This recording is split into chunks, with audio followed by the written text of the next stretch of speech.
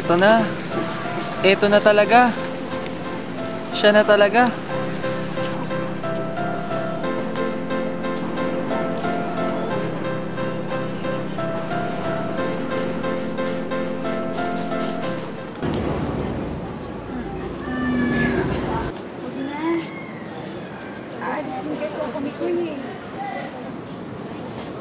Huwag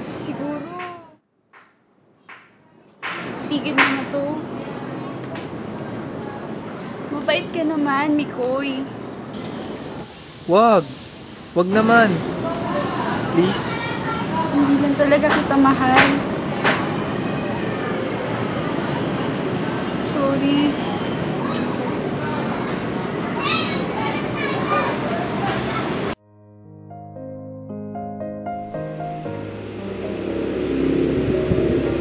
Bad trip naman, no?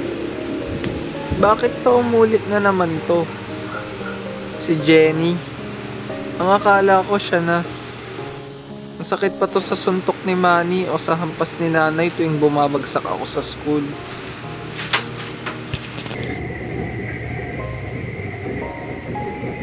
Nangihina ako. Si Jenny ang pangwalang babae na nagsabi sa akin ng salitang Sorry. Sorry.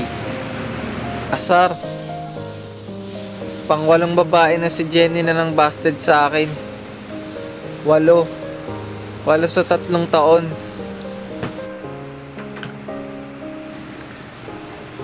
Si Ana. Teresa. Vicky. Cheska. Ines.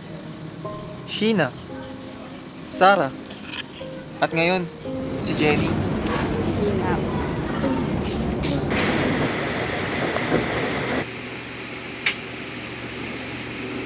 Ano bang mali sa akin? Cute at simpatiko naman ako. Hindi ako ang nagsabi nito. Si Linda.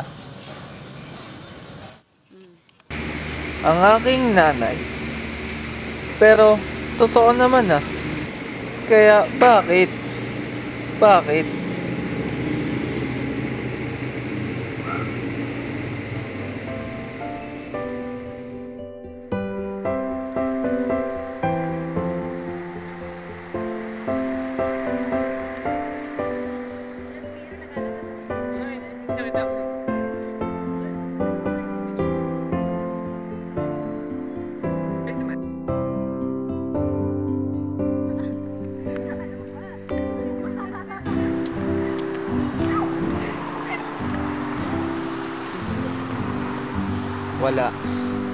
Walang sino man sa mga babaeng nang busted sa akin ang nakakaalam ng nararamdaman ko ngayon.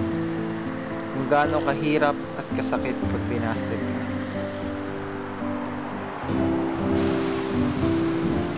Busted. Ang sakit sa tenga. Yung totoo, torpe talaga ako.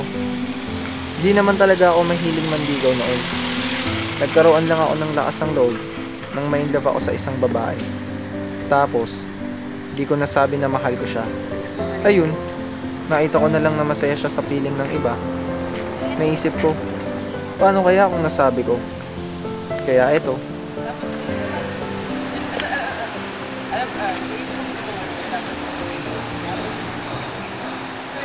Toy! Toy! Sana? Nagkaroon ka mo na paniligaw. Bakit ka ulit? Uy, huwag ka naman ganyan. Hindi. Ano na? Kumusta na? Busted? Uy, busted. Uy, sa tao rin. Huwag kang ganyan, pre. binasted na naman ako.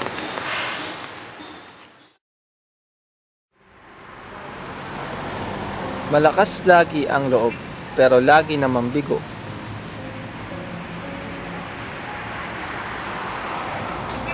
Bad trip.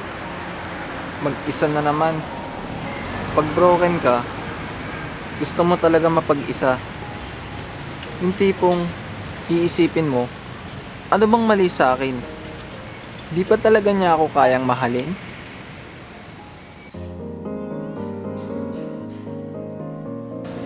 Eto pa, yung ending ng lahat ng komprontasyon ay ang salitang sorry. Nagdidilim ang paligid, nawawala ang kulay ng lahat ng bagay. At nasa isip mo, Takbo! Ang sakit talaga. Daig pa nito ang sinaksak ng paulit-ulit. Daig pa nito ang hapdi ng sugat na nilagyan ng alcohol. Yung tipong nag slow mo ang mundo mo pag sinabi niya na sa'yo na mabait ka naman eh. Babait? Eh bakit di mo ko sinagot? Nung panahon na sinabi ni Jenny yung salitang sorry. Sus! Gusto ko siyang sigawan. Anong sorry? Pagkatapos ng lahat, sorry. Wala ka namang ginawa. ah. Ni hindi pa nga ako nag effort eh. Pero hindi. Hindi ko masasabi yon. Kasi, kahit na nasasaktan niya na ako, mahal ko pa rin siya.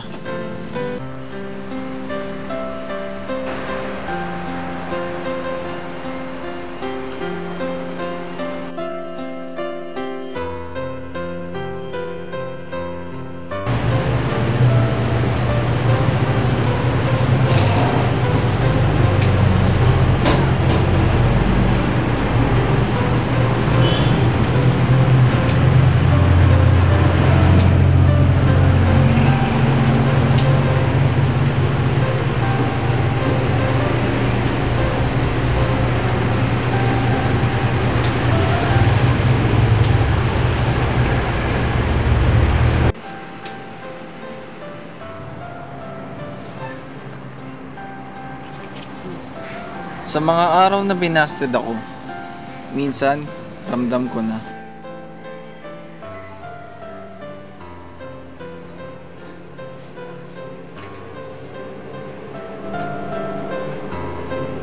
Ikaw na pa ang magising sa'yo?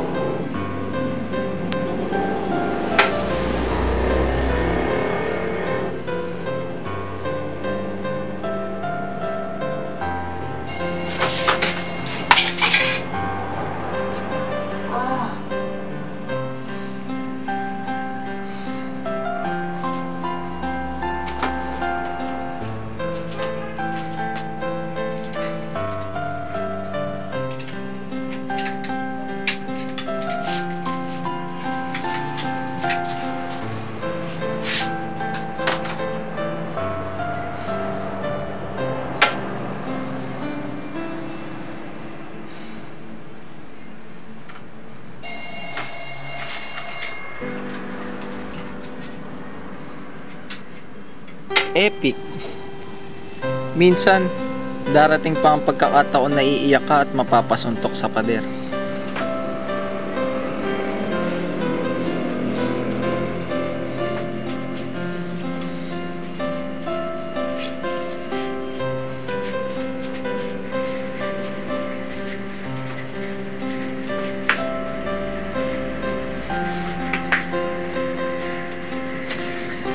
Pero, pa yun ginagawa. Minsan, naisipan ko lang.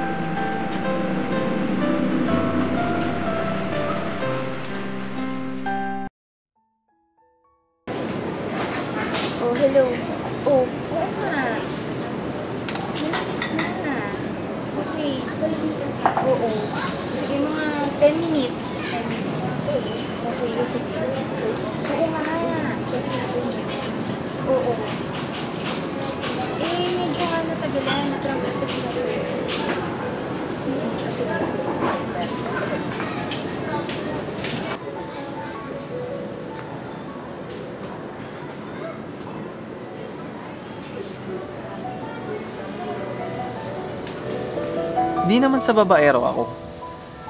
Madali kasi talaga ako ma-fall. Lalo, pag ngingitian ako, Mahilig kasi ako sa mga babaeng maganda ang ngiti. Iba kasi talaga si Jenny eh. Siya yung babaeng papangarapin mo na ikasal sa kanya. Akala ko, gusto niya na rin ako.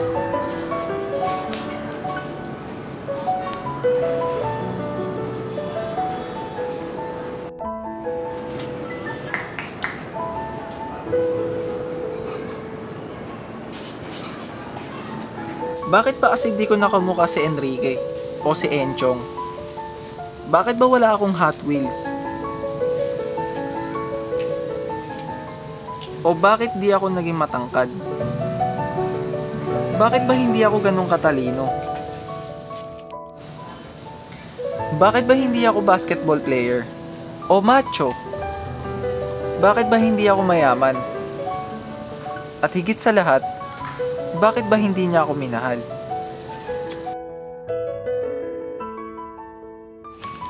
Pero, kahit ganun, may mapagmamalaki ako sa kanilang lahat.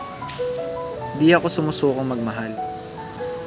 Ganun naman talaga ang love eh. Di ka dapat sumuko.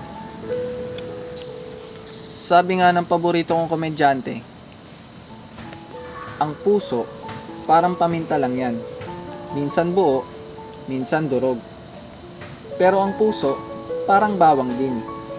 Buo talaga, dinudurog lang. Pwera biro. Masakit talaga ang masaktan. Ang umasa sa wala, ang maghintay. Pero, kasama yan eh. Kasama yan sa kontrata ng buhay. Tsaka yung mga nagsasabi na takot silang magmahal, kalokohan yun. Ang totoo, takot tayong masaktan, ma-reject, maloko at maiwan. Pero kahit kailan, di tayo matatakot magmahal. Kasi, pag nagmahal ka, dun mo lang mararamdaman ang tunay at wagas na kaligayahan. Kaya, ang may pagmamalaki ko, ay yung di pa rin ako sumusuko. Alam ko naman darating din ang panahon. Makikilala ko din siya.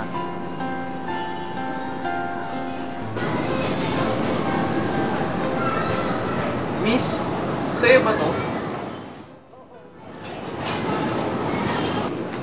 Oo. Yung isang espesyal na babae na sasagot ng oo pag tinanong ko na siya.